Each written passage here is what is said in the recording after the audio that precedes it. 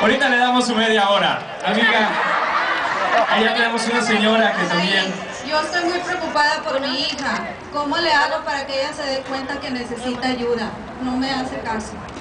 Ay, señora, para mí es tan fuerte. Esto me ha tocado un chorro así de mamás que llegan conmigo o que me escriben a veces y me dicen, oye, háblale a mi hija, ¿no? Dile algo. Y pues si yo tuviera la varita mágica, ¿no? Imagínense, yo iría por la vida haciendo así, curando personas. Yo creo que lo más importante es que usted ya se dio cuenta, porque de verdad los hijos a veces engañamos tanto a los padres, ¿no?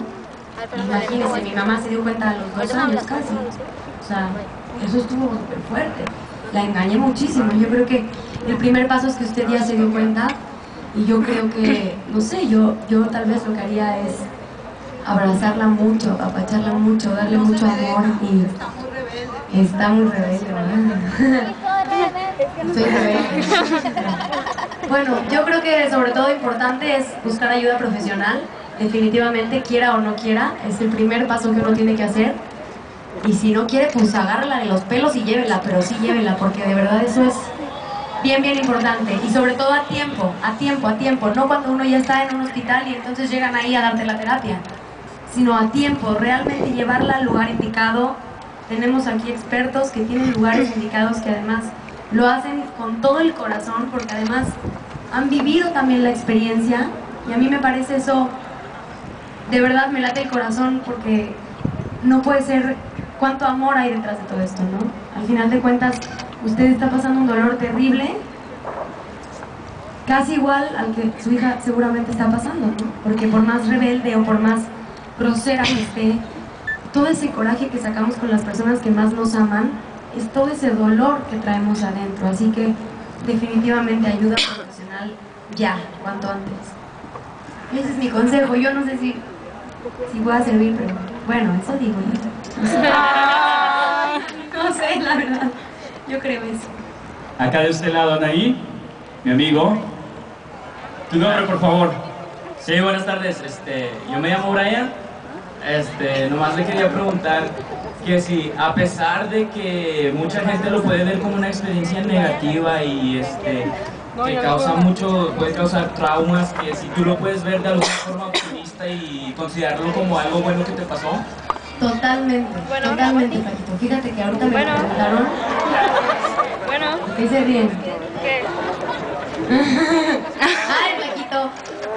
Es de cariño. Bueno, la verdad te digo, ahorita me lo preguntaron y yo, y yo contesto sin ningún temor a equivocarme que hoy en día lo que a mí me ocurrió fue una bendición. Lo que a mí me ocurrió fue una experiencia como mucho más de allá arriba, me tenía que tocar, ¿sabes? Me tenía que tocar porque yo vine a este mundo desde muy chiquita a estar en los medios, a que bueno, ustedes me conozcan y sepan de mí y tal y cual cosa. Pero hoy en día sé que vine a este algo mucho más grande que eso.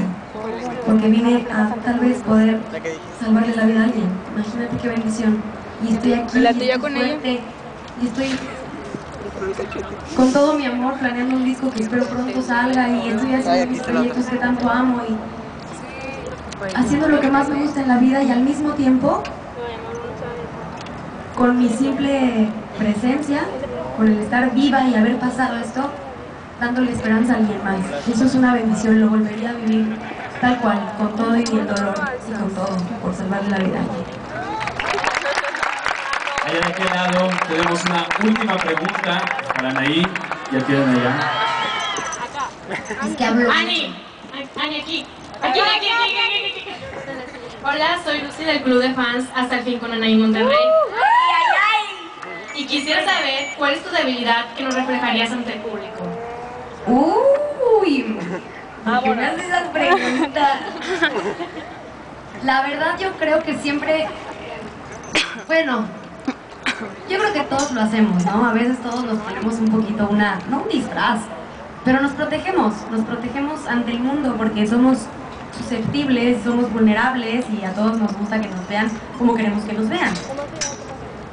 No sé, sobre todo las mujeres somos muy así, andamos con cara de ya llegué al antro y yo soy la guapa y no sé qué, y la de al lado me cae gorda y sí o no, así somos.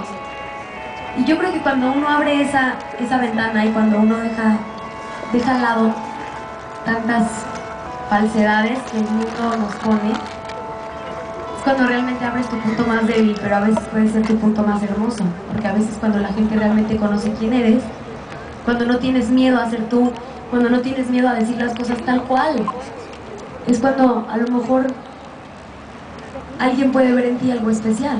Entonces mi punto más débil que siempre ha sido abrirme y ser yo y llorar y reírme, pues hoy en día creo que es lo que me mantiene aquí. ¡Te amamos, Ani! Gracias, yo a ustedes. No se oye nada. Sí, sí, sí, ahí ya me escucho. Fuerte aplauso para Anaí que sube el día de hoy con nosotros.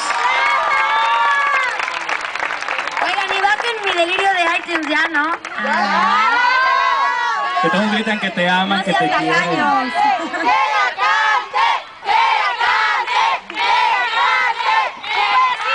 Ay, viejas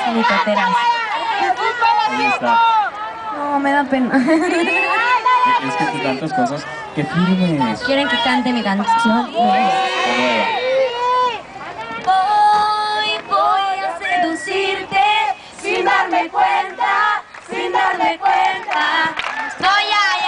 porque si no, si no, no la van a bajar, porque son bien tacaños, ya el disco lo compren luego, luego. Ya, pero ya lo compren en iTunes. Ya está en no iTunes.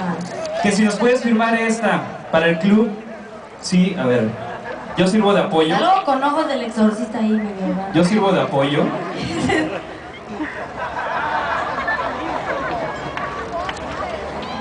Siempre he apoyado a gente, entonces ahorita. ¡Listo! Bueno, Anaí, queremos darte las gracias nuevamente. Sabemos que es importante que todos pongamos nuestro granito de arena para, para poder salvar vidas. Quiero comentarte que aquí en el Instituto de la Juventud estamos trabajando en programas para, para tratar los trastornos alimenticios, tanto para los padres de familia como para, para los chavos. Tenemos una página que es www.nutricional.com donde viene toda la información y sobre todo donde pueden tener una consulta con el experto, donde las fundaciones aquí presentes, Comenzar de Nuevo y Ellen West, nos están apoyando. Entonces, para que todos los chavos sepan y que podamos todos trabajar en conjunto para, para poder ayudar a acabar con esta problemática.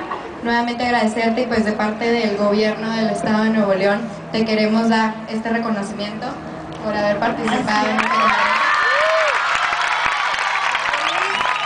pasador. Ahí está. Yo te lo cuido. Muchas gracias. Está medio pesador. Y no se vayan porque sigue una pasarela, entonces invitamos a todos que se queden y vamos a despedir con un fuerte aplauso a Anaí. Gracias. Gracias, chicos. Un buen aplauso para Anaí, que ya hoy estuvo con nosotros en esta conferencia aquí en Sector 3. Muchas gracias, Anaí. Te esperamos próximamente. Adiós.